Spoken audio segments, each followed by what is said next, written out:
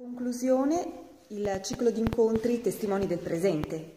Così, sì, con l'incontro del 16 di venerdì 16 alle ore 21 qui nell'aula magna del liceo economico sociale Rosmini, eh, concludiamo questo ciclo, è il sesto degli incontri, abbiamo sempre trattato temi di grande attualità, stiamo sempre su un, un pezzo caldo.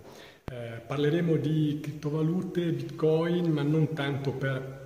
l'interesse specifico eh, di questa particolare moneta quanto per il mondo e il linguaggio che questa moneta rappresenta e soprattutto per le opportunità rivolte ai giovani che questa moneta rappresenterà.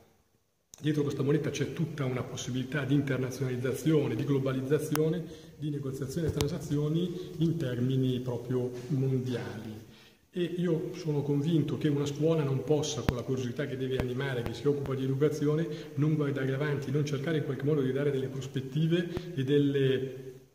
opportunità in più ai nostri ragazzi. Eh, questo mondo consente in una logica appunto peer-to-peer, cioè da persona a persona, evitando filtri e intermediazioni, di eh, fare negoziare i nostri ragazzi con altri ragazzi o comunque noi stessi, eh, con altre persone e saltando in qualche modo i vincoli delle monete locali, i vincoli delle crisi geopolitiche che spesso attanagliano le regioni, eh, le politiche magari di eh, infla- inflattive o di svalutazione per cui apprendo ad avere una porta al futuro, soprattutto per il linguaggio, che è un linguaggio matematico, algoritmico, che interessa molto i ragazzi, dunque anche noi che li accompagniamo nella loro avventura educativa.